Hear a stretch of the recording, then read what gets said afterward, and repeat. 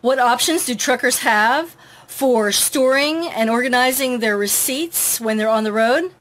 Hello, I'm Vicki Simons with TruckDriversMoneySavingTips.com and I want to be able to share with you some uh, ideas here. Now, I've got some old receipts here.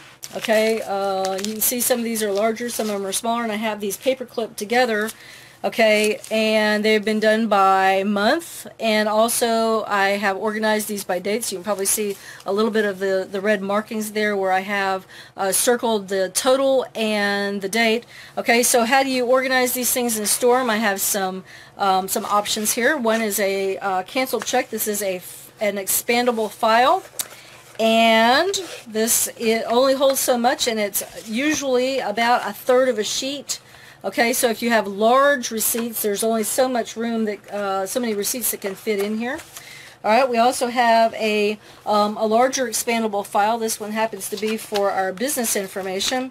And you can see that this has uh, tabs across the top, or actually 12 tabs where you can put in uh, for the um, each month. Okay, so January, February, March, April, etc and that has a certain amount of room and actually I like this one better than uh, a previous one that we had where the rubber band went around the middle. So uh, and another option that you have is a little uh, a file box. This happens to be one of our smaller file boxes. It actually has a pretty good amount of room in here. And for being able to store uh, some of these receipts in here uh, one of the things that you can use is manila envelopes or you can use a hanging file system. That won't work too well in some boxes like this because, okay, the, um, the box is a little bit too narrow. I don't know if you can see that. A little bit too narrow for this. But we do have some larger uh, boxes that uh, these hanging files fit in just right. Okay, another thing that you can do is to put your receipts down into these, um, like a bigger manila envelope, not just a, a manila file folder. But the thing about it is, is because, and I don't know if you can see this, the, um, the envelope is actually longer than the box, so you will want to make sure that you uh, are taking care of um, making sure that, that that envelope folds around okay and that it's able to fit down in there. Okay so those are just some options that you have and uh, let's put this way when my husband Mike and I were on the road together okay we took a larger uh, file box than the one that I showed you and we kept some of our personally identifiable information in there some critical things like our uh, checking account information we checked the checkbook and you know some uh, extra um, you know, check stubs and things like that with us and our credit card statements, at least a number of them, and some of the other things. Uh, one of the things that we like to keep with us was um, an address book. Uh, back then, I did not have uh, an emergency contact list like I do now.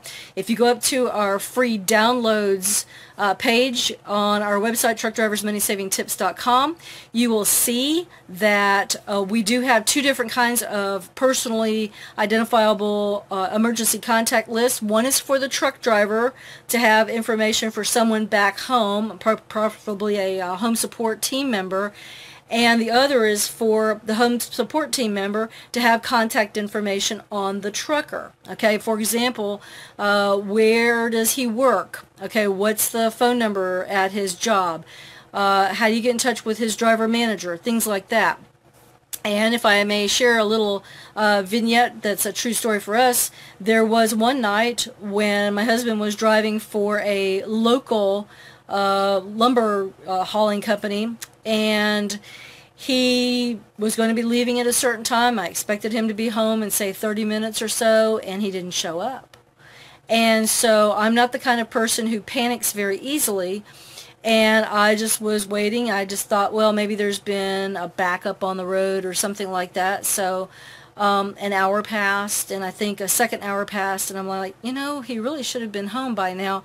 And back in those days, we didn't have smartphones like we do now. We could text each other very easily. But he did have a phone with him, I believe, or access to something. And so I ended up calling his driver manager. I used the number that was on that emergency contact information and I, you know, uh, he didn't know anything different. He thought Mike left, you know, at a reasonable time. So I thought, okay, I'm going to go ahead and call um, the sheriff's office and find out if there's been any accidents on the road, and there hadn't been. And so after a while, uh, I don't remember now specifically, but he either called me or he came home, and I said, what happened? And it turned out that he had had such a rough day, okay, that he uh, simply pulled over on the side of the road somewhere in a nice quiet place and took a two-hour nap or so.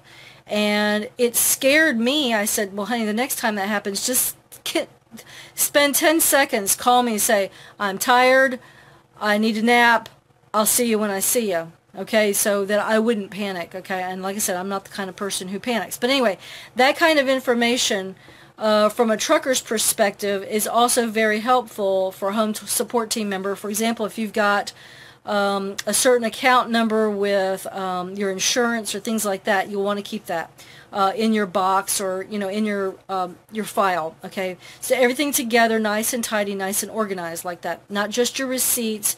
And speaking of receipts, there may be a time for you to purge some of your old receipts. I mean, who needs to have your grocery receipt from three years ago? You've consumed the food by now. You don't really need to hang on to that. However, if you have a receipt for, say, maintenance work that you had done on your truck, and that maintenance is good, that, that work is done good for 12 months, okay, and if your truck breaks down because that, that service uh, didn't last 12 months, then you'll want to have that.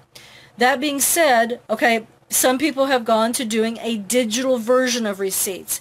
And when this uh, specific uh, broadcast is over, I'm going to be putting in the link to a service that my husband Mike and I use for our business, and it is called TaxBot. And the thing about it is, is uh, this service will allow you to be able to take a digital photograph of a receipt so that it is stored in their system. And this is very uh, convenient.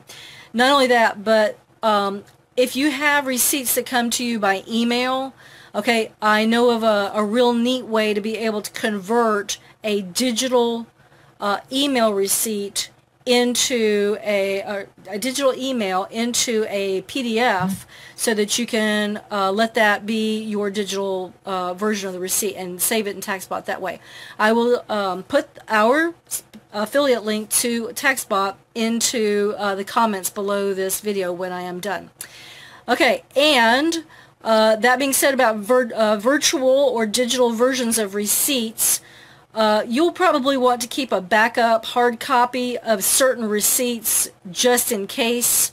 Okay, I don't know at this point which vendors do and do not accept digital versions of receipts. So for example, if you happen to have a tax TaxBot or another type of a service that uh, stores digital receipts for you, and they'll pull that up and you say, well, here's your receipt in digital format. They're like, we don't take that. Okay, we need to have the actual hard copy.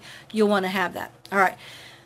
When Mike and I were on the road together, we had a large box that had our stuff in it. Okay, and I also want to mention security about this. Okay, um, if you call any kind of personally identifiable information uh, in your truck, remove it, take it with you if you're going to be leaving your truck for any period of time. Uh, for example, if you're going to be um, having it serviced at a terminal, at a truck stop, um, that kind of thing, make sure that you don't allow things to be taken. We've had a situation in the past, um, not to us personally, but we know of a professional truck driver who had some stuff stolen out of his truck, things that uh, could not be replaced, and that hurts. Okay, so um, I'm not saying empty your truck out every time you go somewhere to have something serviced, but you know uh, which things you need to take with you, things that um, you want to protect. Okay, so that's some ideas on being able to store and organize your receipts and also some of your uh, personal stuff, your uh, very um, your personally identifiable stuff and some of the things that you want to keep with you. So if there are any comments or questions, feel free to comment below or get in touch with us through our website, truckdriversmoneysavingtips.com, and we will be glad to, uh, to handle that for you. Also, I will post a link to our free downloads page that has the two um, the two emergency contact information sheets there. And uh, feel free to go ahead and request that by email. And we'll be glad to get that to you as soon as possible. All right, until next time, my husband Mike and I wish you safe travels and lots of money saving opportunities on the road. Have a great night, drivers. Thanks.